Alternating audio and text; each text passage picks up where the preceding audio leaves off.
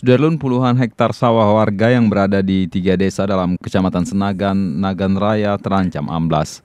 Hal tersebut dikarenakan abrasi kerung nagan yang semakin parah.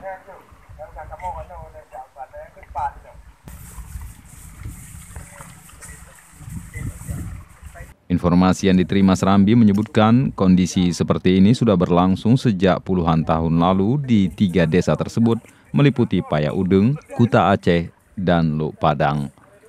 Hingga saat ini kondisi sungai Kerung Nagan yang berada di wilayahnya tersebut belum mendapatkan perhatian pemerintah. Itu sebelum konflik sudah mulai, sudah hmm. mulai, tapi tidak pernah ada penanganan dari baik pemerintah kabupaten hmm. maupun pemerintah provinsi. Hmm. Jadi memang abrasi ini terjadinya muaranya di Gampung uh, Peudeng yeah. di atas. Hmm. Jadi begitu ada hujan, sedikit saja hujan, itu uh, limpahan air Krung Nagan ini langsung mengarah kemari. Hmm. Jadi langsung mengarah ke pemukiman warga. Yeah. Jadi kalau memang uh, tidak segera ditangani oleh pemerintah, ini bisa jadi ya Luhuk Padang ini tinggal nama saja. Uh, diperkirakan lebih kurang 30 hektar lebih hmm. uh, dari keseluruhan tanah yang menjadi lokasi gampung, hmm.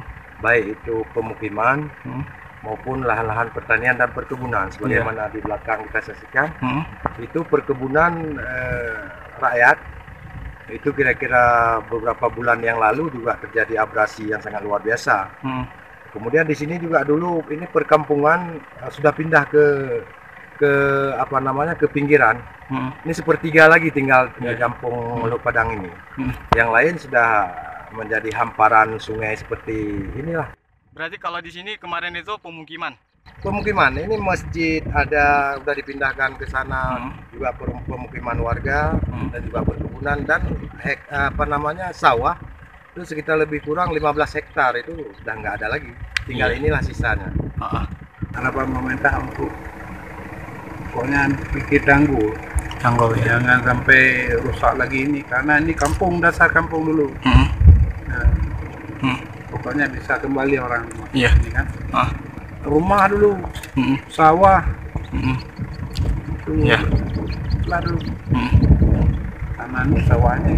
Dua sekarang. Eh mm. belum mm. saya datang kemari sesuai dengan undangan Pak Cilo Padang untuk menengok lokasi abrasi Sungai Kelundagan hmm.